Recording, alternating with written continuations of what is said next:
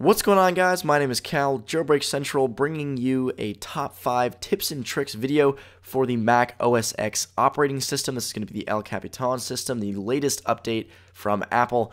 Um, these are going to be five of my favorite features that they've added that hopefully you will find useful. So number one, cursor locator. If you know sometimes you've got too many tabs open up on the screen and you can't find where your mouse is because it's so small, an easy way to find it built into the system is to just shake the mouse or wiggle your fingers on the trackpad and the mouse will momentarily become enlarged and then you can find it and continue using uh, your device. Number two is Expose. This one's pretty simple. Uh, there's a couple different features involved with this. You can see I'm actually switching between desktops here.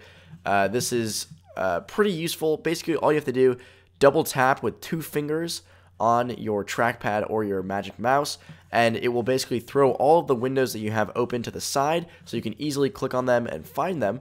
Additionally, at the top bar you'll see there's desktop 1, desktop 2, desktop 3, and so on and so forth. You can actually create new ones with this button over here. But what this allows you to do is actually organize your workspace. So let's say that I want to have one desktop where I'm only editing. So I can go ahead and throw all of the stuff that I'm editing with in one window, and then I can easily access that um, and it'll just be this window so there's not a lot of confusing clutter and other windows that I don't really care about.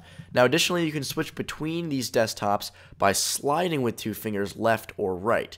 Um, and this will basically switch between your desktops and lets you easily access different windows at different times. Another feature that is very useful is disk utility. If you go to Spotlight Search and type in disk utility, it should be the first one that comes up. Uh, this they've completely redone. You can go ahead and see what is taking up storage on your device. You can see the capacity, what's used. Basically, it's just a trove of very useful information for keeping your Mac uh, clean and uh, allowing you to use more uh, more windows, stuff like that, so it doesn't get too slow. Another useful feature, if you go back to Spotlight Search by clicking the little search icon in the top right corner and you type for weather in your location, uh, you can just do weather in San Francisco. You can see that the first thing that comes up is actually the weather in San Francisco, California.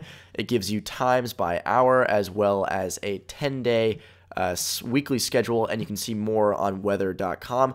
And that is what is powering these weather results, so you know that it's pretty accurate. The last tip has to do with Safari. Uh, so if you don't use Safari, it may not apply to you, but if you do, this tip will certainly be useful for you.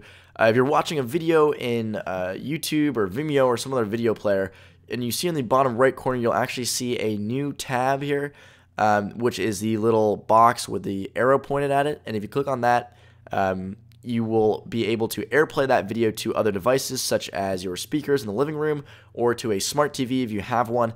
Um, so this is a pretty useful feature to quickly switch from one device to another or hear it out of uh, different speakers. This is pretty useful. Uh, additionally, if you're playing a video and there's sound coming out of it, you will see uh, a little. Uh, it's my computer's really slow right now, but you'll see a little uh, icon here uh, in the top right hand corner, the sound icon. And if you click it, you'll actually mute the video that you're watching or whatever tab, whatever sound is coming out of that tab. You can actually mute it, and this works for individual tabs as well. So this is a very useful feature. If you know if you're hearing sound, you don't know where it's coming from, uh, just go ahead and go to your Safari tabs, and you will be able to find out which tabs are playing music and uh, which ones you want to stop. So guys, that is the top five tips and tricks for Mac OS X. Let me know which ones you guys really enjoyed in the comments down below, which ones you think that I missed. Uh, hope you guys enjoyed this video, and I'll see you guys later.